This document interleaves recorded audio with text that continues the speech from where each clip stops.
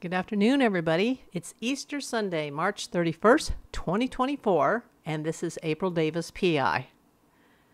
Wow, I have awesome news.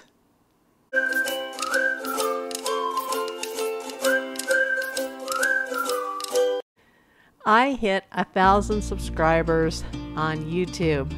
Yes, I can't even believe it. I may go do a live. I don't think I'll do it today because it's Easter and I will be back in the hospital next week, so I'm not sure of the timing of the live.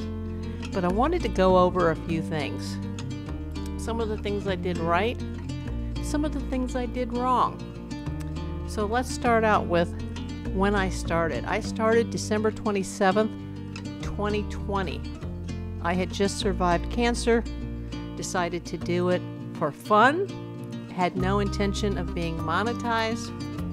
But over the years, when I saw the channel expenses adding up, I decided to go for it.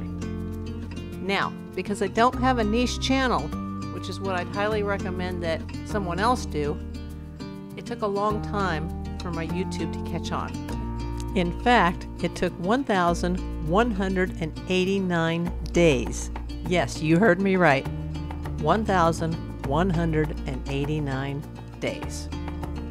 That took three years, three months, three days.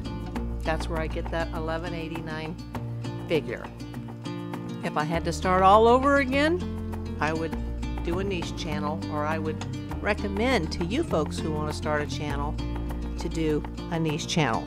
Now, one month ago, I did hit 500 subscribers, and YouTube recently started a new monetization program where you're only required to have 500 subscribers and 3,000 watched hours in the last 365 days. But there's a catch to that. They don't pay per channel views. No, you don't get paid for any of your video views with that number of subscribers. And that's how people make money on YouTube. But they do give you access to super chats or super stickers um, on your lives or on your premieres. They also put a little icon beneath your videos that will say super thanks. So somebody watching the video at a later time, if it wasn't a live or it wasn't a premiere, they can just go into your videos and they can send you a super thanks. Now, I only had that turned on for the first, well, for a month before I hit a thousand, and I never received a super thanks, a super chat, or super sticker. But with health issues, I'm not set up to do many lives, so I really, other than the super thanks, that's the only way that that 500 mark would have helped me, and that 500 mark made me zero. Now, in the weeks following, I hit 600, 700, and it seemed like towards the end, it went really fast. It just jumped up to 900 and then very quickly a 1,000. So it took me, you know, three years and two months to get to 500. It took me a month only to get to a 1,000. And I did try out a few little tricks here and there. I'm not sure I'll reveal what they are yet, but I did everything legally. Because once you go on YouTube and if you put your email contact out there, you'll be getting scam emails from everybody from all over the world. Uh, people saying that, you know, they'll help you grow your channel and they'll help you grow your subscribers. And you never want to sign up for anything like that because those are just fakes, fake subscribers, fake views.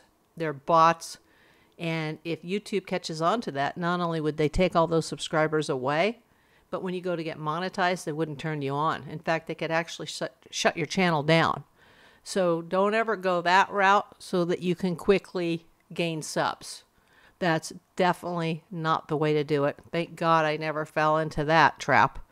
Um, I wouldn't have the money to do that anyway right now, but thank goodness I never tried that and I just earned it the old fashioned way. But I did do a few things towards the end that speeded it up. Uh, at least so I think. Um, I can talk more about that later. But it definitely, a few things I tried definitely helped me out in the end. Uh, but now, now that I've reached a thousand subs, I don't get paid for any of my prior views prior to that day. So on the day that I hit, I had approximately 254,733 views.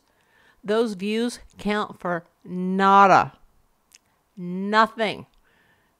They do not back pay for those views. So now I feel like I got to start all over again. And I really could have used that money because I subscribe to Epidemic Sound. I subscribe to uh, a software program that that removes clips for me.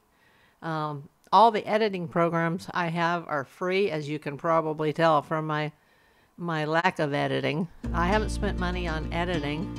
Um, I did put uh, some subtitles in a recent video that were Japanese, and I had to pay for that. It cost me like 10 bucks. So there are expenses between cameras, um, batteries, um, camera equipment, lighting, microphones, Wi Fi mics, which I haven't used very much. I always walk out of the house and forget them. I should carry those in my purse just in case. There's just expenses. And someone, a, a, wife of a very famous YouTuber, in fact, he was the first professional YouTuber ever that earned for YouTube. His wife had mentioned to go into the YouTube Studio app and that they had some um, free music.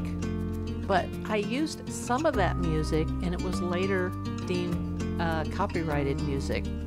And then those videos had copyright claims, but not copyright strikes. There's a big difference between a claim and a strike. And you certainly never want to have a strike. If you do, just take that video down immediately. Luckily, I've never had a strike.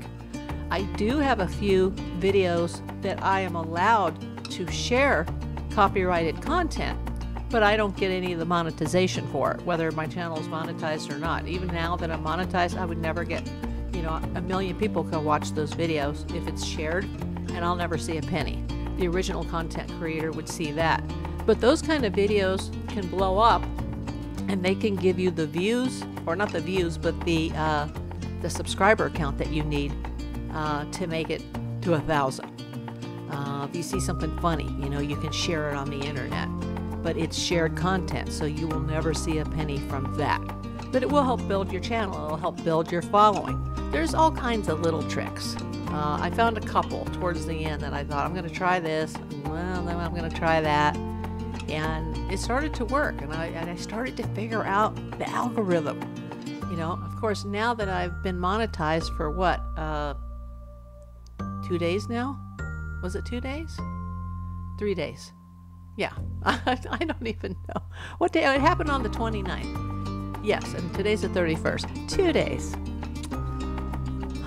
All the stuff being in the hospital has affected my brain, let me tell you.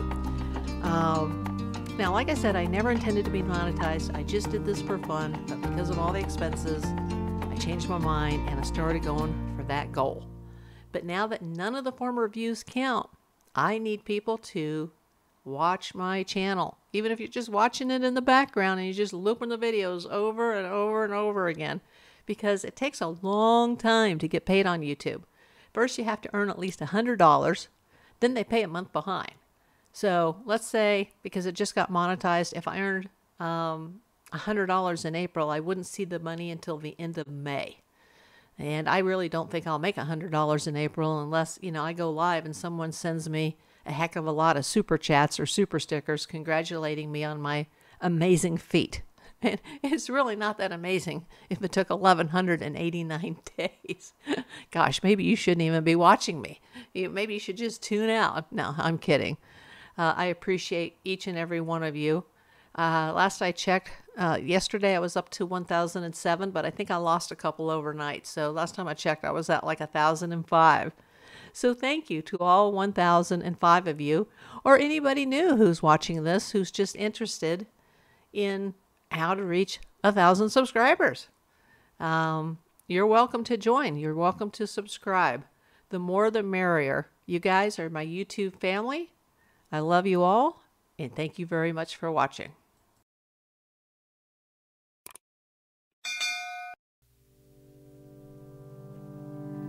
I know it's nothing new But it's so good to see you